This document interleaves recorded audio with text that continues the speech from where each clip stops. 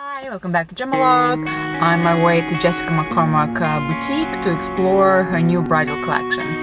As you know, you might know, I just got married, and surprisingly, many more girls are asking me about uh, engagement rings and what is engagement ring right for them. Let's go.